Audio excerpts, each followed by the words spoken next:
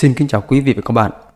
Chào mừng các bạn đã đến với bản tin dự báo giá vàng tuần tới từ ngày 20 tháng 5 đến ngày 26 tháng 5 năm 2024. Minh Phát cảm ơn các bạn rất nhiều.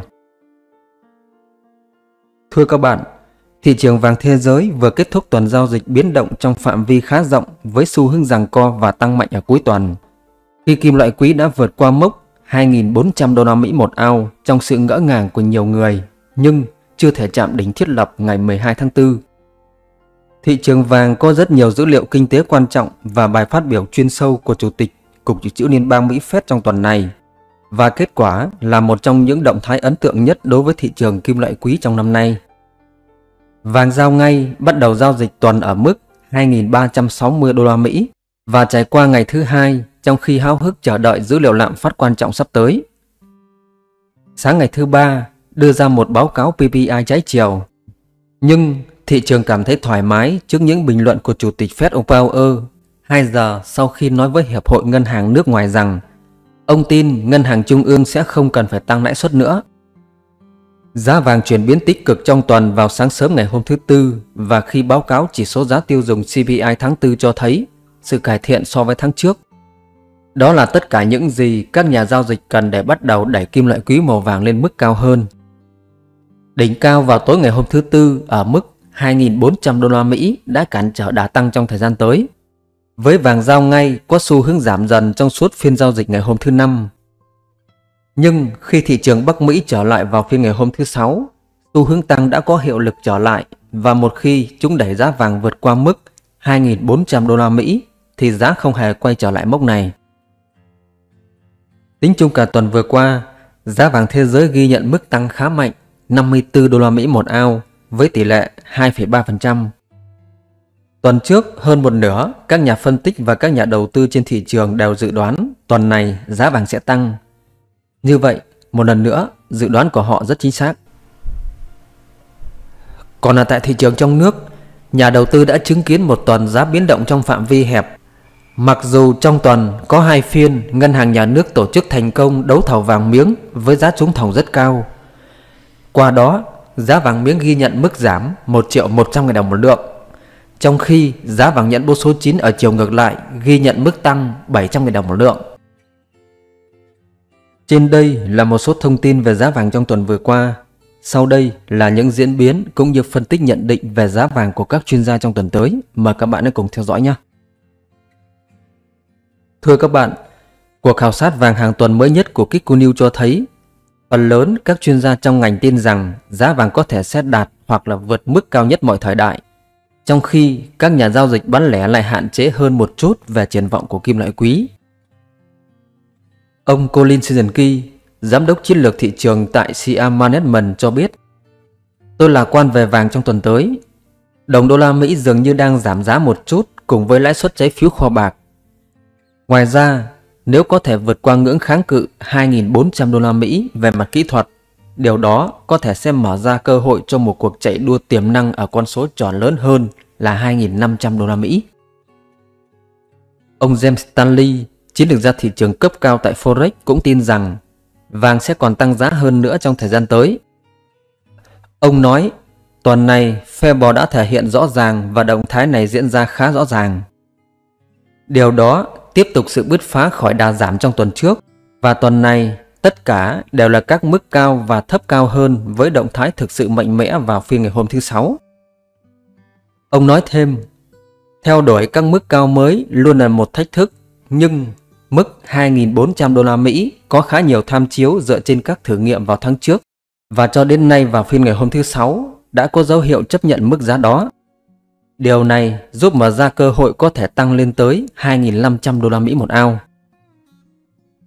Ông Adrian Day, chủ tịch của Adrian Day Asset Management cho biết, không thay đổi, người dự đoán vàng sẽ gặp khó khăn trong việc giữ các mức cao nhất của ngày hôm thứ Sáu. Chúng ta có thể sẽ thấy một nỗ lực khác để vượt qua mức 2.400 đô la và sau đó là một đợt thoái nuôi nhỏ. Nhưng khả năng phục hồi của vàng rất ấn tượng và sớm muộn gì nó cũng sẽ vượt qua mức đó. Ông Adam Button, người đứng đầu chiến lược tiền tệ tại Forex Live cho biết, người mua giảm giá đã xuất hiện rầm rộ trong tuần vừa qua và tin đồn xung quanh vàng đang tăng lên. Có những dấu hiệu cho thấy nền kinh tế của Mỹ đang chậm lại, nhiều hơn trong số đó sẽ mang lại sự cắt giảm lãi suất trong tương lai.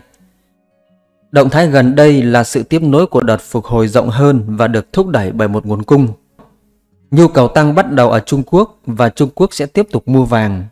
Đồng thời, dữ liệu gần đây cho thấy Thổ Nhĩ Kỳ và phần lớn ở Trung Đông cũng đang mua vàng thỏi.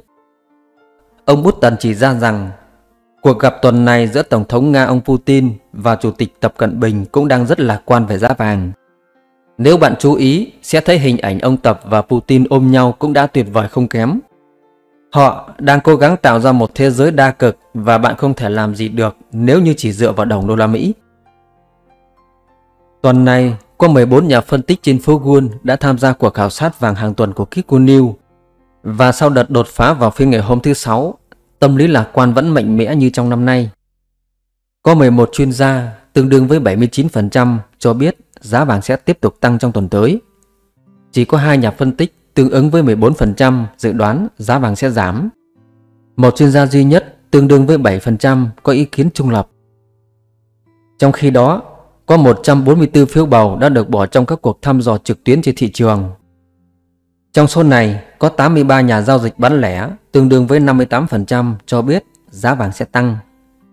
30 người khác tương ứng với 21% dự đoán giá vàng sẽ giảm. Trong khi 31 người còn lại tương đương với 21% cho biết giá vàng sẽ đi ngang. Thưa các bạn, sau một loạt dữ liệu lạm phát trong tuần này, thị trường sẽ có một chút nghỉ ngơi vào tuần tới. Thứ tư sẽ chứng kiến việc công bố doanh số bán nhà hiện tại của Hoa Kỳ trong tháng 4, cùng với biên bản của Ủy ban Thị trường mở liên bang từ cuộc họp chính sách tiền tệ vào cuối tháng 4 vừa qua. Vào thứ năm, các thị trường sẽ nhận được chỉ số PMI ngành dịch vụ và sản xuất nhanh của S&P, số đơn xin trợ cấp thất nghiệp hàng tuần và doanh số bán nhà mới trong tháng 4. Thứ sáu sẽ có báo cáo về hàng hóa lâu bền trong tháng 4. Ông Mark Chandler, giám đốc điều hành tại Banok Bull Global Forex nhận thấy bằng chứng cho thấy giá vàng hơi cao sau đợt đột phá trong tuần này. Ông nói, vàng đã lấy lại mức 2.400 đô la Mỹ một ao trước cuối tuần và sẵn sàng đặt mức đóng cửa cao kỷ lục trên thị trường giao ngay. Các chỉ báo động lượng cho thấy kim loại quý màu vàng có thể thách thức mức cao nhất trong ngày từ ngày 12 tháng 4 gần 2.431,5 đô la Mỹ một ao. Ông Darin Nielsen, nhà phân tích thị trường cấp cao tại Batcha cho rằng vàng có thể sẽ lấy lại một số mức tăng gần đây. Ông nói, hoàn toàn là một bài đọc kỹ thuật vì tháng 6 có vẻ sắp đạt đến đỉnh điểm tiềm năng của xu hướng tăng trong ngắn hạn năm sóng. Chỉ số ngẫu nhiên hàng ngày cho thấy hợp đồng đang ở trạng thái quá mua. Vào sáng sớm ngày hôm thứ Sáu, tôi có một mô hình đảo chiều cho tôi biết rằng xu hướng sẽ thay đổi. Chúng ta sẽ xem điều gì sẽ xảy ra vào sáng sớm ngày hôm thứ hai. Ông Sĩ Lúc, đồng giám đốc phòng ngừa rủi ro thương mại tại Quát Trà Đinh đã theo dõi toàn bộ khu phức hợp hàng hóa bốc cháy vào phiên ngày hôm thứ Sáu với kim loại quý dẫn đầu. Chúng ta đang ở trên mức 2.410 đô la Mỹ. Chúng ta đã quay trở lại mức cao. Bạn có thể lập luận rằng dầu thô đang hoạt động kém hiệu quả nhưng vẫn tăng hơn 10% trong năm nay nhưng nếu điều đó tiếp tục thì mọi thứ khác sẽ nổi lên. Có lẽ chúng ta sẽ có một mùa hè thực sự nóng nực ở đây. Ông cho biết thêm, sự kết hợp giữa lạm phát cao, phát hành nợ lớn và việc ngân hàng trung ương in tiền quá nhanh đang đẩy những người tham gia thị trường vào kim loại quý và các hàng hóa khác. Ông Michael Moore, người sáng lập Moore Analytics cho biết, vàng đang tăng cao hơn có khả năng đạt mức 2.448,8 đô la Mỹ một ao trong những ngày tới. Chúng ta đã giữ mức cạn kiệt ở mức 2.288 đô la và mức thấp nhất là 2.285 đô la Mỹ và tăng lên 138,5 đô la Mỹ một ao. Việc bứt phá trở lại ở trên mức 2.302 đô la đã mang lại sức mạnh cho 121,7 đô la Mỹ. Chúng tôi đã loại bỏ mức cạn kiệt cuối cùng ở mức 2.385,3 đô la Mỹ một ao. Nhà phân tích cấp cao của sàn Kiko Metal ông Jimmy Cope nhận thấy giá vàng sẽ tăng thêm vào tuần tới.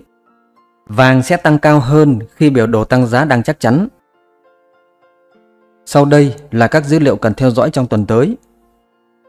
Trong phiên ngày hôm thứ Tư, doanh số bán nhà hiện tại của Hoa Kỳ.